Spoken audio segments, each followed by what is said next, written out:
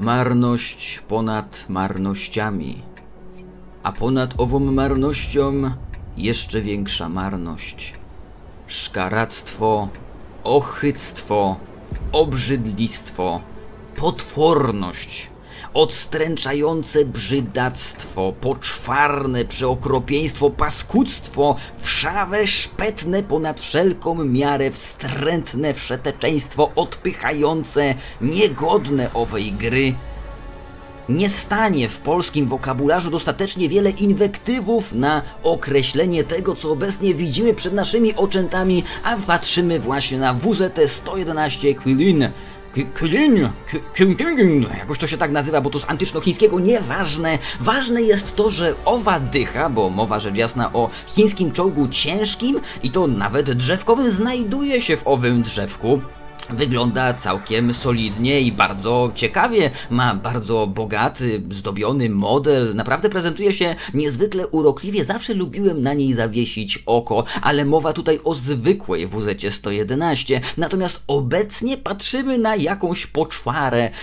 No nie wiem, jak to nawet nazwać, bo tak jak powiedziałem, nie starczy dostatecznie wiele słów, aby to określić w języku polskim, w języku naszych praojców. Jest to w każdym razie jakaś abominacja obraza dla tego tytułu i o dziwo znajdują się nawet w grze osoby, którym się to podoba i które chcą tak grać. Boże, dlaczego? Co jest nie tak z tymi ludźmi? Ludzie, co jest nie tak z wami? Dlaczego lubicie grać takimi gównami? Czemu w ogóle was to jakkolwiek rajcuje? Co sprawia, że chcecie wejść w bitwę czymś takim? Przecież to jest totalne zabicie klimatu tego tytułu. Tytułu, który jest oparty o realny świat, o konflikty zbrojne z historii cywilizacji ludzkiej. Potykają się tutaj czołgi. Nie Harry Potter z różdżką, nie świnka Pepa z pluszowym zajączkiem, ale czołgi. I nagle wyjeżdżacie czymś podobnym w bitwę? Jaki to ma cel? Gdzie tutaj klimat? Gdzie imersja świata? No wszystko po prostu się perdupcy. Ja bym nie miał nic przeciwko takim maszynom. Okej, okay, niech se będą, no Wargaming ma dziwne upodobania, no niech se tam rozwijają ich gra, ich małpy, ich cyrk. No ale niestety oni również wchodzą w buciorami w mój świat, w moją grę, w moje odczucia i imersję tegoż właśnie świata, dlatego że to nie jest zwykłe malowanie. To jest traktowane jako styl 3D, więc ja to w bitwie niestety także widzę. Oczywiście niezwykle rzadko, całe szczęście niezwykle rzadko, ale jednak czasem widzę. No i naprawdę powiem Wam szczerze, Ilekroć widzę coś podobnego w bitwie, to wątpię w ludzkość i mam ochotę z tej bitwy wyjść, ale już dobra, starczy, niech będzie, że się wypultałem. Natomiast teraz przejdźmy do samej batalii. Bitwa dzisiaj będzie nie byle jaka, ugrana przez jednego z moich widzów, dumnych prosiaczników. Dla Boga nie wiem dlaczego tym grasz, no ale jak ci się to podoba, to grasz, no możesz to grasz. I niech tam będzie twoje na wierzchu. No i ludziska, również chciałem wam pokazać sam pojazd, dlatego że no niestety, ale jest to także World of Tanks. To także jest wyznacznik tego tytułu. Takie pojazdy również się w grze pojawiają, więc skoro ja ogólnie o grze nagrywam, no to chcę wam pokazać to, co dobre i to, co złe zarazem. Oczywiście, tak jak powiedziałem, WZ-111 Quillin jest tylko odmianą innego kamuflażu tej zwykłej drzewkowej WZ z drzewka chińskiego. Tak więc różni się wyglądem, statystykami w ogóle.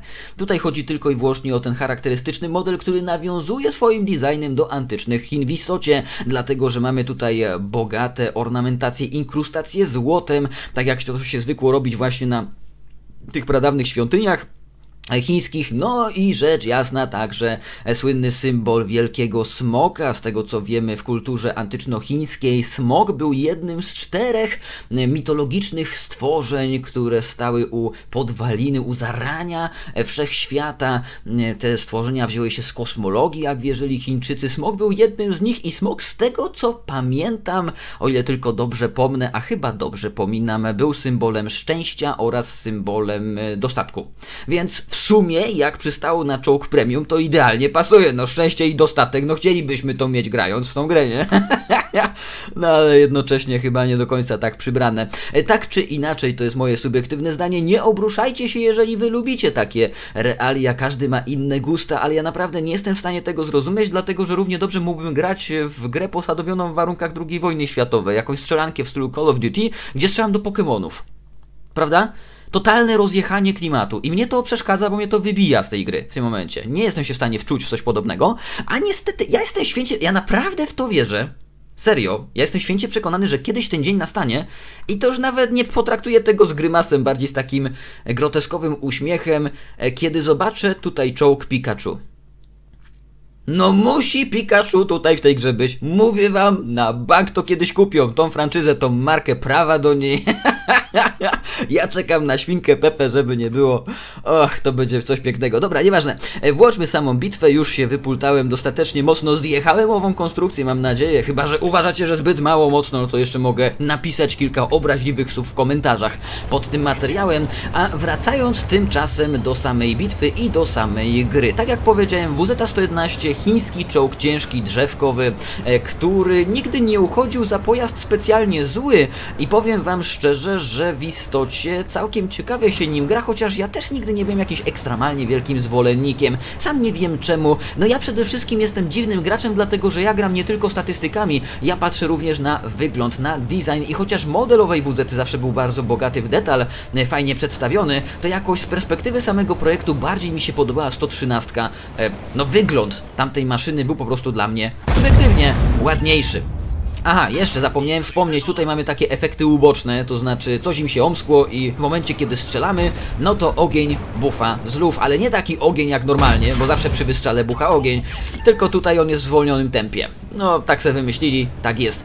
No i powiedzmy coś na temat owej konstrukcji. Damage na strzał to jest 490 HP. Kurczę, jak przystało na czołg ciężki, w sumie jest takim przeciętnym wynikiem. Ani to dobrze, ani to źle. E, penetracja 250 na zwykłej pesce, 340 na pocisku goldowym. Osobiście uważam, że dosyć dobra i raczej nie powinniśmy na nic z tej perspektywy narzekać. Czas ładowania na zerowej załodze to jest 11 sekund, więc również bardzo fajnie. To jeszcze można zbijać odpowiednimi modułami dopałkami, więc będzie dobrze. No i to nam daje w ostatecznym rozrachunku DPM, czyli damage na minutę rzędu 2625. No całkiem w pytkę. Do tego mamy czas celowania 2,5 sekundy, jak na taką lufę, która wali za taki damage, myślę, że całkiem fajnie, naprawdę nie powinniśmy na to narzekać. Celność 0,39, więc dosyć słaba, to nie jest snajper, no ale jednak to jest wyznacznik tych konstrukcji prorosyjskich, bo powiedzmy sobie szczerze, niby to jest czołg chiński, ale wzorowany na tych radzieckich, więc to jest ta sama szkoła tworzenia pojazdów pancernych, no i zawsze w tych pojazdach pancernych widzimy, że są to czołgi szturmowe, czyli jeżeli chodzi o celność, no to mają mocne niedomagania w tym zakresie. Zapas amunicyjny to jest 40 pocisków. Czy dużo, czy mało? Ciężko powiedzieć, ale myślę, że dało się gorzej, więc również jakoś potwornie mocno bym nie narzekał. Depresja, elewacja minus 7 stopni plus 23, więc w sumie powiedziałbym, że jak na taką konstrukcję z taką wieżą półsferyczną, nawet nieźle, bo minus 7 mogło być dużo gorzej, mogło być na przykład 5, Osobiście powiem, że jestem tym zachłyśnięty i to daje, w każdym razie powinno dawać całkiem niezłe możliwości na polu walki. Pozwólcie, że teraz przyhamuję czas, bo chciałbym wam pokazać... Oj, chyba najgorszy możliwy moment wybrałem. No to czekajcie, bo mu się wzięło i wybuchło, no. Tylko żeby jeszcze odczekać ten moment, żeby nie było, że wtedy ja strzelę. Znaczy, ja w sensie domyślę, no bo chodzi o gracza. Czekajcie, no jednak muszę strzelić, bo to zbyt dużo się tutaj dzieje w okolicy. Zbyt dużo ognia, płomieni piekielnych. No dużo się autentycznie dzieje, to jest w końcu ubojnia, klasyczny przepychacz i jeszcze nie ma artylerii w bitwie, więc to również sprawia, że gracze bardziej raźno, chyżo i ochoczo podjeżdżają do siebie, bo się nie boją Boga z nieba, prawda? Boga w cudzysłowie wiadomo do czego bije. E, więc jeżeli chodzi o pasek zdrowia, bo to zawsze jest związane bezpośrednio z pancerzami, mamy 2200 health pointsów, co jak przystało na dychę, ciężką dychę, no słabo trochę słabo. No chciałoby się więcej i myślę, że będziemy w stanie się szybko z tych hapeków wysrywać, więc trzeba na to uważać. No a jeżeli chodzi o pancerze, czym możemy grać, co jest naszą siłą, a co jest naszą słabością. No myślę, że wieża ogólnie siłą jest, chociaż też nie taką siłą definitywną, dlatego że na wieży mamy dwa weak spoty średnich rozmiarów. Powiedziałbym, że ani nie są duże, ani małe, ale w walce na bliski dystans to z łatwością wróg będzie w stanie w nie przycelować, co może stanowić dla nas realny problem. I tutaj widzimy, że wróg już to robił, już strzelał w te weak spoty. Dlaczego? Dlatego, że ten wizjer ma zaledwie 226 mm grubości tego efektywnego pancerza, co oznacza oznacza, że na dyszce no to każdy się w to będzie wgryźć w stanie, tak? bez większych trudności. Jeżeli natomiast chodzi o resztę wieży, piekielnie gruba i naprawdę w ogóle nie opłaca się tutaj strzelać. Nawet atomowymi działami się będziecie w stanie odbić, dlatego że ona oscyluje w okolicach takich wartości od 400 mm pancerza do nawet więcej, więc y, no chyba nie muszę Was specjalnie uświadamiać, że 400 mm to jest ekstremum tej gry. To naprawdę rzadko kiedy się tak grube płyty pancerza, nawet na jakichś super ciężkich TDK przełamania frontowego, rzadko kiedy się takie płyty pancerza widuje, więc wieża niewyobrażalna dobrze opancerzona, no ale jednak z dwoma wyraźnymi weak w które wszyscy starają się wpierdupcać swoje pestki. Jeżeli z kolei chodzi o korpus, powiedziałbym, że on jest taki no niby nie jakiś beznadziejnie słaby, ale również ciężko na nim zawierzać swoje możliwości przetrwania. Dlaczego? Dlatego, że na górze to teoretycznie jest ta klasyczna sztuka, więc on ma tutaj ten ryjek, on się rozjeżdża na boki, ten płyt, przód szczupaka, o tak się to nazywa, e, słynny z IS-a 7. E, natomiast no ta sztuka tutaj, ja wiem, no jak przystało na dychy, ogólnie powiem tak, dycha się odbije chyba, że załaduje golda, bo jak załaduje golda, to przebije bez większych trudności, a to raczej może stanowić wielkie problemy, jak przystało na czołgi ciężkie, dlatego że w tych rejonach macie około 240 mm pancerza, co rzecz jasna oznacza, że jeżeli będziecie działali z lekkiej górki, no to spotęgujecie tą wartość, to wtedy jest super. Natomiast jeżeli stoicie vis-a-vis swojego przeciwnika, mogą się pojawić delikatne problemy. Oczywiście te płyty stają się coraz grubsze im dalej od przodu, to znaczy najsłabsze są tu na nosku, a im dalej na boki, tym są grubsze, no ale no nie zmienia to faktu, że tutaj 240 jak na dyszce, no to już takiego wrażenia nie robi. Do tego jeszcze dochodzi całkiem spory brzuszek i powiedziałbym, że ten brzuszek naprawdę jest wielkich rozmiarów. No można spokojnie powiedzieć, że nieomal po połowę naszego korpusu stanowi właśnie spodnia płyta a ona ma 225 mm grubości, więc niby też nie beznadziejnych próchno, no ale każda dycha się wgryzie z pierdnięciem, po prostu totalnie bez najmniejszych problemów, dlatego też, no jest to niby czołg szturmowy, ale taki czołg szturmowy, no wiecie, no nie można sobie na zbyt wiele pozwolić, no bo jednak wrogowie będą was przebijać i trzeba to na uwadze zdecydowanie mieć. Do tego dochodzi sama mobilność, jak przystało na konstrukcje wzorowane na radzieckich, źle być nie może, no bo one całkiem nieźle się turlają po polu walki, nie inaczej jest w tym przypadku. Mamy maksymalną prędkość rzędu 50 km na godzinę, co jest bardzo wielką wartością, to jest naprawdę super. A do tego jeszcze wyobraźcie sobie 50 ton, 750 koni mechanicznych, co daje nam stosunek mocy do masy rzędu plus minus 15 koni na tonę.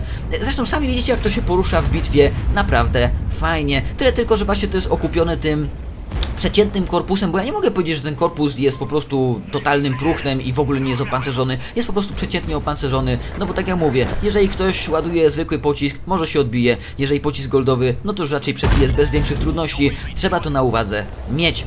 I tak bym mógł podsumować całą ową konstrukcję, to znaczy myślę dycha bardzo dobra i to dobra nawet na różnego rodzaju clan warsy i tym podobne, nie wiem jak na ESL, -e, ale na zmagania z innymi graczami bo całkiem niezła wieża, porządne działo, które naprawdę ma fajne statystyki, w połączeniu e, z bardzo fajną mobilnością potrafi owocować tym, że to jest po prostu czołg wielozadaniowy. Jeżeli sytuacja na polu walki to wymusi, możemy się szybko zrelokować, pojechać sobie na inną flankę, możemy się szybko wycofać, jeżeli będzie taka, zaistnieje taka konieczność, że musimy uciekać, no to będziemy w stanie to zrobić, a jednocześnie jak już do tego wroga dojedziemy, to również coś na klatę potrafimy e, przyjąć i również stanowimy wielką siłę na polu walki.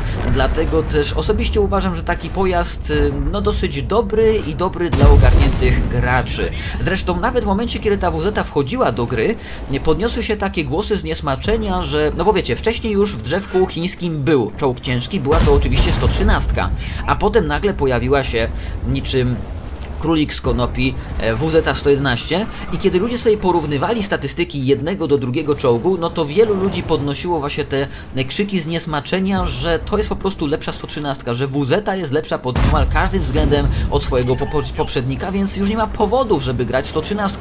Nie wiem, czy od tamtego czasu 113 nie przeżyła jakiejś serii buffów, musiałbym troszeczkę pogrzebać w takich informacjach, powiem szczerze, no przyznam się, mea culpa, nie przygotowałem się do tego materiału z tej perspektywy, no ale jednak... Yy no WZ zdecydowanie godna uwagi jest i jeżeli szukacie wielozadaniowego, ciekawego heavika, no to myślę, że ta dyszka zdecydowanie e, powinna Was zaintrygować. A teraz skupmy się na samej bitwie, dlatego że już widzicie, że sporo się tutaj nawarchlaczyło. 8241 punktów damage'u napsikane wrogom, a będzie już tylko lepiej i naprawdę wynik wprawi Was stan osłupienia pod koniec, chociaż na razie wydawałoby się, że bitwa już y, zasadniczo zmierza ku końcowi. Już praktycznie jest na wykończeniu, już za wiele się tu wydarzyć nie może, tym bardziej, że wrogowie się rozjechali po całej mapie i większość z nich jest daleko od nas.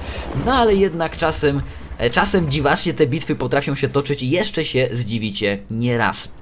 Więc na razie bardzo zachowawczo nasz bohater gra. Bohater, którego muszę pochwalić, no widać, ja nie czytałem jego statystyk profilowych, ale widać, że jest to strasznie ogarnięta osoba. No zobaczcie, już ma tak wyuczone mapki, że po prostu już się spodziewał, że coś w tych krzakach może tam stać przy tym bunkrze, więc oddał strzał na ślepo. No który słaby gracz by to zrobił? Zresztą słaby gracz również nie osiągnąłby takiego wyniku, jaki tutaj będzie.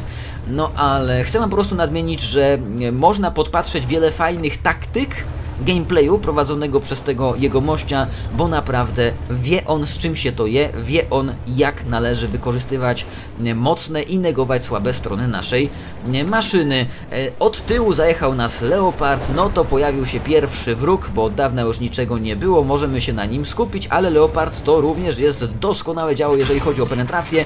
Mimo wszystko pan się odbił, strzelił w gąsienicę więc również tak się czasem zdarza. No gdyby trafił w wieżę, również by się odbił, natomiast korpus już by był w stanie Leoparda przyjąć. No i co? Teraz wyjeżdżają prosto pod nasz celownik wrogowie wy marzona sytuacja do robienia damage'u. Mamy tutaj delikatnie pofałdowany grunt, więc moglibyśmy na Hama wystawiać tylko i wyłącznie tą wieżę. Oczywiście ta wieża też nie jest taka, wiecie, mm, idealna, i też nie jest bez wad, bo ktoś Wam w ten weak spot może przycelować, no ale jednak lepiej ją wystawiać niż korpus. No i zobaczcie co się dzieje. Bitwa coraz bardziej zaczyna e, się chylić w stronę naszego niepowodzenia. Niby jeszcze sprawia wrażenie wyrównanej, ale już zaczyna być taka nie do końca przyjemna. My zasadniczo na bazie wroga, no w cudzysłowie mówiąc, bo tak troszeczkę od tej bazy, ale na bazie wroga znajdujemy się nieomal sami. Piękny strzał snajperski na całą mapę, e, chociaż też powiedzmy sobie szczerze, czołg no nie jest do tego idealny. E, to znaczy, no, to działo nie jest zbyt celne, o czym już mówiłem. No i to, czego zdecydowanie nie chcielibyśmy zobaczyć w tym momencie, grill. E, grill, który no jest lufą atomową i powiedzmy sobie szczerze, no raczej kiedy na nas wyjedzie, no to przebije na bank. Bardzo mądrze załadowany haek, dlatego że w tym momencie byliśmy mu w stanie wbić w tą papierową przecież wieżę damage rzędu nieomal 600, co jest strasznie fajnym wynikiem, no ale z drugiej strony potem żeśmy wdupcyli kolejnego haeka w pojazd, któremu już na haeku niewiele byliśmy w stanie zrobić, dlatego ja nieczęsto korzystam z amunicji haek, chyba że już naprawdę widzę, że same papierczołgi zostały, bo te haeki też są takie, powiedziałbym, kapryśne. I nawet jeżeli strzelicie w papier czołg, to czasem też na haeku potraficie jakiś śmieszny damage bić, a czasem przecież w, bi w, bitwach bywa tak, że wyjedzie pod was nagle coś opancerzonego i ten haek jest w dupę rozczać. Zobaczcie, kolejny wymarzony strzał tego gracza. No wyczuł po prostu idealnie. to był blind shot, ludziska, on to strzelił stuprocentowo na ślepo. Wyobrażacie sobie, no bo dopiero potem, jak już w niego strzeliśmy, to wróg się pokazał. No coś niebywałego, nieczęsto się takie rzeczy zdarzają. Prawdziwy, autentyczny szósty zmysł, nie na załodze, a tym razem w przypadku samego bohatera. Chociaż z tego co widzimy, bohater zaczyna mieć nieciekawą sytuację. Z tej lokacji zbyt wiele nie zrobi, bo szachuje go Szarfutur i to z krzaczków, gdzie jest czołgiem, no działającym na niewidce. My go nie wyspotujemy, a nikt tam za specjalnie nie podjedzie, więc albo tu będziemy stali i nie zrobimy damage'u, albo się zrelokulujemy, no rzecz jasna również zaryzykujemy otrzymanie buły od wroga, ale jednak pojedziemy gdzie indziej i będziemy w stanie coś więcej ugrać, no i gracz również dochodzi do takiej konkluzji, no i ucieka z tonącego okrętu. Niestety zaowocowało to strzałem z damage'em ze strony wroga, ale już mamy lepszą miejscówkę, już będziemy w stanie lepiej e, działać. Co warto zauważyć, to również nie jest słaby gracz z perspektywy tego, co ma zamontowane na tym czołgu. Tutaj jest chyba, czekajcie, to jest chyba coś do silnika, nie? Żeby on jeszcze szybciej się poruszał. E, zmiana konfiguracja zapobiega jednemu pożarowi zbiornika na paliwo, wybuchowi magazynu amunicji, zniszczeniu silnika po zniszczeniu tych modułów w bitwie. O kurde, no to powiem wam szczerze, rzadko kiedy takie rzeczy widuję, żeby gracz akurat na coś podobnego się zdecydował, chociaż ja też o tym czytałem, też o tym słyszałem, że te chińskie e, czołgi ciężkie, dobrze jest u nich na załodze mieć tą umiejkę gaśnica bo one podobno często się palą. 113 miała kiedyś e, taką przypadłość, że bardzo często stawała w ogniu. Również nie wiem, czy już tego nie zbafowali, ale kiedyś to naprawdę było strasznie felerne, że otrzymując strzały od przodu, ona była w stanie się zacząć palić. E, Więc no myślę, że też nie bez powodu tutaj taki moduł został wybrany. No i oczywiście te Saigonki, co to w ogóle jest? Ulepszone racje bojowe, nawet nie napisali co to jest, no ale jakaś taka chińska racja bojowa, e, więc rzecz jasna chodzi o poprawione statystyki, dzięki czemu potem rzeczywiście byliśmy w stanie oddawać strzały niejako snajperskie. Zostało dwóch przeciwników, no dwóch na ogrysku, ale my mamy zaledwie trzy pociski, no i teraz się zaczyna ostra jazda bez trzymanki, bo tu już każdy pocisk na wagę złota jest. Zdecydowanie może być grubo, a już mamy na e, siurkane 5 fragów, ponad 12 tysięcy punktów damage'u, więc zobaczcie, e, znowu została przekroczona i to daleko w tle, w tyle zostawiona ta magiczna bariera 10 kafli damage'u. Udało się ostatecznie tego ostatniego przeciwnika jeszcze naćkurzyć, e, co daje nam 6 fragów, no i 12 308 punktów damage'u, no rewelacyjna bitwa w wykonaniu jawnego Quasimodo. Tabelki pokazują nam to, co przewidywaliśmy. W tle oczywiście było to chwalebne zwycięstwo w znacznej mierze osiągnięte właśnie dzięki bohaterowi powyższego materiału. Oznaka mistrzowska i druga oznaka biegłości na lufie. Teoretycznie w przypadku takiego modelu raczej to nie będzie widoczne w grze, to znaczy te gwiazdki na lufie są i tak ukryte, ale nie zmienia to faktu, że druga oznaka biegłości jest, co owocuje nam właśnie tą informacją, że raczej to słaby gracz nie jest. Chociaż z drugiej strony nawet ja potrafię osiągnąć drugą oznakę biegłości, a dla Boga nie jest to porównywalne, dlatego że ja z całym szacunkiem takich bitew nie ukrywam, nigdy w życiu mi się to nie przytrafiło, więc takim dobrym graczem nie jestem. No ale od czegoś trzeba zacząć, zanim się trzecią oznakę biegłości wbije, to przecież dwójka przed trójką musi się znajdować. Była tutaj oznaka mistrzowska 1, 2, 3, 4, 5, 6, 7, 7? 1, 2, 3, 4, 5, 6, 7, 8. A, nie potrafię liczyć do 8, wydało się.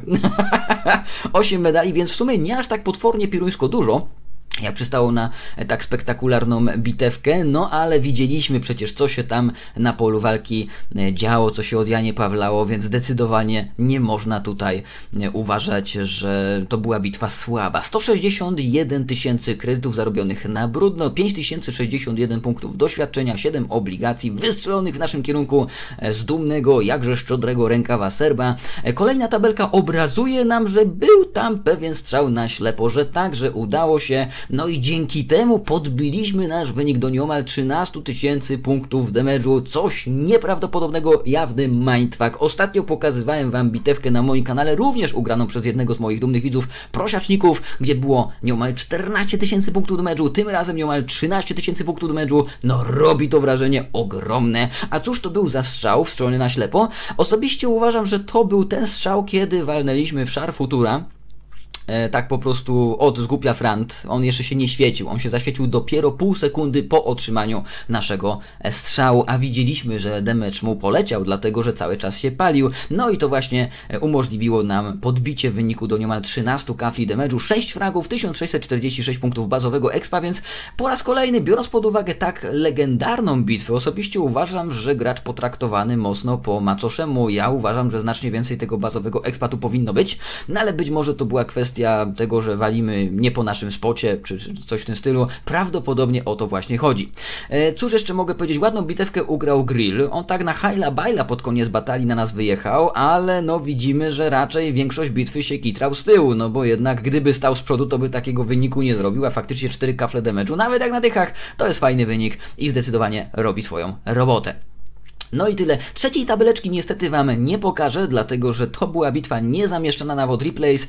Bohater troszeczkę inaczej mi ją wysłał, w innym takim formacie bym powiedział, ale jednak apeluję o to, żebyście Wy, jako widzowie tego kanału, jeżeli macie coś ciekawego do pokazania, wysyłali to na WOD Replays, a potem mnie w linku, na przykład na fanpage'u na Facebooku to przesyłali, dlatego że inaczej to raczej stroni od pokazywania takich bitew. No tutaj to była wyjątkowa sytuacja w dwójnasób. Z jednej perspektywy naprawdę naprawdę niebywały wynik, który bardzo rzadko się zdarza w tej grze. Z drugiej strony z kolei również niebywały czołg, dosyć taki spektakularny i można powiedzieć wyjątkowy, bo czy on mi się podoba, czy nie, to jest zupełnie inna para kaloszy. No nie podoba mi się, to już wiecie, nie jest to e, żadna tajemnica, ale no wszyscy się zgodzimy, że jest to swego rodzaju unikat, no bo nieczęsto się te WZ Quill widuje w bitwach, e, a prawdę mówiąc to nawet nie jest o tyle sam model 3D, co odrębny czołg prawda? Bo, bo to nie jest kwestia tego, że to sam model 3D, który sobie możecie na zwykłą WZ założyć, to jest zupełnie inny czołg. Teoretycznie ma takie same statystyki, takie same dane pisane jak zwykła WZ drzewkowa, ale jednak wygląda inaczej, ma inną nazwę. To jest inna maszyna, prawda? Nie pamiętam za co ona w ogóle była oferowana. Możecie napisać w komentarzach pod tym materiałem, bo szczerze przyznam, nie wiem, a jestem ciekaw, więc wzbogaćcie moją wiedzę o tym podobne słowa. Za co to w ogóle było, ale to musiało być coś trudnego, bo tak jak mówię, zbyt często całe szczęście w bitwach tego nie widuję. Być może gracze tego nie mają, być może po prostu tym nie grają, ale dla Boga naprawdę nie widzę powodu, żeby tym nie grać, jeżeli chodzi o warunki czysto, takie walory czysto statystyczne. Dlatego, że mechanika tego czołgu jest naprawdę dobra. I powiem Wam szczerze, zresztą ja już to mówiłem podczas bitwy, że to jest po prostu maszyna, która jest warta uwagi. To jest taka dycha, którą warto opracowywać nawet na jakieś Clan Warsy. E, wielka mobilność, mieszane pancerze z twardą wieżą, nawet całkiem niezłą depresją, jak przystało na tak płaski pojazd, no bo minus 7 to też nie jest tak fatalnie dało się gorzej, to wszystko owocuje tym, że zyskujecie maszynę, która jest naprawdę bardzo wielozadaniowa i w wielu sytuacjach na polu walki, tam gdzie inny czołg już by sobie nie poradził, gdzie trzeba się wycofać, przegrupować, zaskoczyć wroga, okrążyć go, tą WZ to po prostu zrobicie. A nawet jak wyjeżdżacie prosto pod celownik przeciwnika, to również widzieliście w tej batalii, że potraficie tym coś odbijać, dlatego że no chyba no chyba się nie pomyliłem, chyba wydaje mi się, że, ta, że tam ponad 2,5 kafla damage'u odbitego było, więc to, no, parę strzałów jest. Umówmy się, zresztą nie mało. Tak więc WZ jak najbardziej warta uwagi, chociaż subiektywnie, indywidualnie dodam czysto od siebie, że chociaż ja zawsze sobie zdawałem sprawę z jej potencjału, to zawsze przyjemnie mi się grało 113. I właśnie nie chodzi tutaj o statystyki, bo 113 zawsze uchodziła za ten gorszy czołg. Za, za, za gorszy chiński czołg ciężki, ale z drugiej strony no jakoś mi się bardziej podoba. Jest taki bardziej indywidualny, bardziej niestandardowy, nieszablonowy, jeżeli chodzi o jego wygląd, dlatego też zawsze lubiłem go oglądać na polu walki i nim grywać, tym bardziej, że to również jest taki no powiedziałbym Feniks, taki, taki jednorożec na polu walki, bo rzadko kiedy 113 widuje się w bitwach, prawdopodobnie właśnie dlatego, że są z dupy, no ale jednak ja też takie unikalne konstrukcje po prostu lubię, a osobiście no posiadam obie te maszyny i żadnej opracowania, żadnej z nich nie żałowałem, a umówmy się, tak jak powiedziałem, WZT jest po prostu wielozadaniowa, i w znacznie większej ilości sytuacji będzie sobie w stanie dać radę niż na przykład taki OI z Japonii. No bo okej, okay, mając takiego oika macie konstrukcję naprawdę bardzo dziwaczną, taki rarytasik, coś innego niż wszystko, ale z drugiej strony, no to umówmy się, że to nie jest jakieś zachwycające i zazwyczaj oikami no nie ugrywa się jakichś ekstremalnie rewelacyjnych bitew, w każdym razie tak mi się wydaje. Dobra, na razie ode mnie to tyle. Piszcie, czy macie WZT-111 Quill, piszcie za co był rozdawany ten czołg, piszcie, czy lubicie nim grać, czy lubicie w ogóle takie dziwactwa w owym tytule, no i przede wszystkim co myślicie o owej konstrukcji. Mam nadzieję, że Wam się podobało. Jeżeli Wam się podobało, nie zapomnijcie o łapkach. Jeżeli chcecie wspierać kanał, nie zapominajcie także o patronajcie. Hej ludziska, cześć!